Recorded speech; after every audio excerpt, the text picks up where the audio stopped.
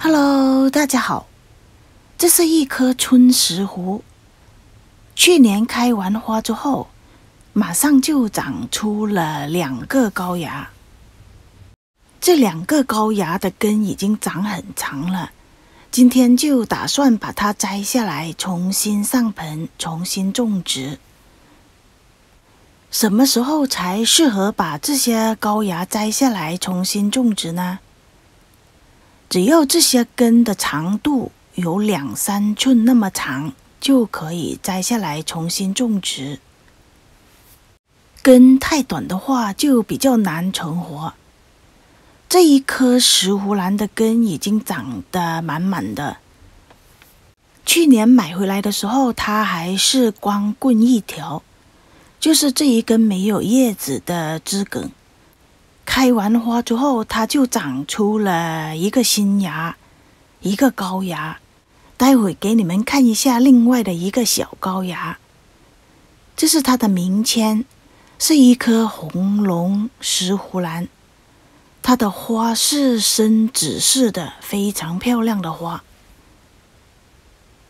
这个红龙春石斛是种植在一个非常小的瓦盆里。我想把这个高芽摘下来之后，连同原来的枝梗一起种植，所以呢，就需要给它换一个大一点的盆。现在是用水苔种植的，根长得非常的健康。种植石斛兰有一点非常重要的就是，一定要用小盆，能用最小的盆就用最小的盆。石斛兰不喜欢用大的盆。现在把这些水苔拆开，再看一下里面的根的情况。这些水苔的质量还是挺好的，从去年到现在看上去也没有什么腐烂。我们在给石斛兰、卡特兰之类的兰花换植料的时候，最好是用手拿着老的枝梗。不要碰新的枝梗，新的枝梗比较脆弱，有的时候一碰它就会断，而且新的枝梗也有机会发出新的芽点。如果用手这样拿着的话，也容易把这个芽点弄掉。最安全的做法就是拿着老的枝梗，水苔差不多完全清理掉了。中心那些水苔我就留住好了，因为怕把这些根弄伤。现在准备把这些高芽摘下来。通常的做法只是左右拧一下，它就出来了。但是由于这颗高芽的根比较多，这样拎的话有可能把这些根弄掉。我还是把它切开吧。用的工具是刀片，刀片比较锋利，也比较薄，容易切开。话还没有说完，它就出来了。看一下，非常的完美，根没有被弄断。再来看一下第二个高芽，这个高芽有一点奇葩，看一下。它跟刚才那一个高芽差不多是同时间长出来的，到目前为止，它只有芝麻那么大。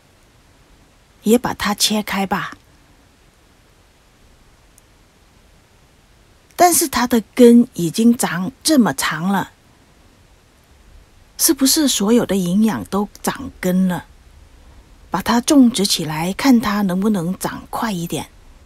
今天用的杯子是有洞的，大概把它这样种植起来吧。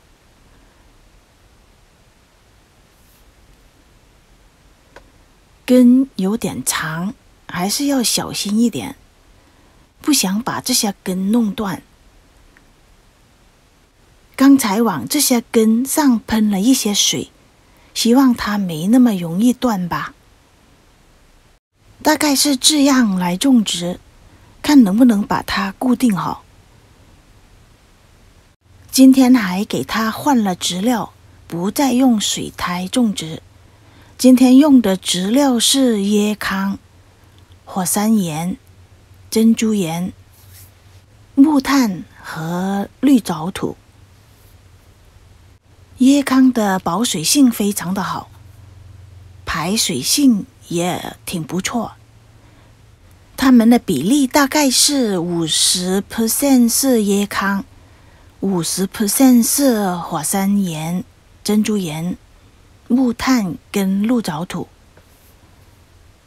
椰糠的腐烂程度要比水苔和树皮要慢很多，所以如果用椰糠种植的话，起码两三年都不需要给它换植料。用椰糠种植兰花，现在还在实验当中。我用椰糠分别种植了蝴蝶兰、文心兰，现在又来尝试种植石斛兰了。蝴蝶兰、文心兰、石斛兰的种植，椰糠的比例各有不同。我用来种植蝴蝶兰的椰糠只是占百分之二十，而石斛兰我大概是用了百分之五十。而文心兰用椰糠的分量就比较多了，我大概是用百分之七十的椰糠，再配其他的植料。等他们有新的进展，再来跟大家分享。这颗春石斛跟一般春石斛一样，到了冬天，成熟的枝梗会落叶，落叶之后。经过一段时间的控水，它就会长出花苞，也就是我们平常说的春化。其实控水也不是不给它浇水，只是浇水的频率减少一些，浇水的水分减少一些而已。这颗红龙石斛对温度的要求不高。它可以耐高温，也可以耐寒冷。夏天可以忍受三十摄氏度，或者是冬天差不多零度的低温。它对光线的要求比较高，可以跟卡特兰、文心兰对光线的要求一样。虽然它耐高温。而且对光线的要求也比较高，但是它不能直接暴晒在太阳底下，最好还是放到比较滋阴的地方吧。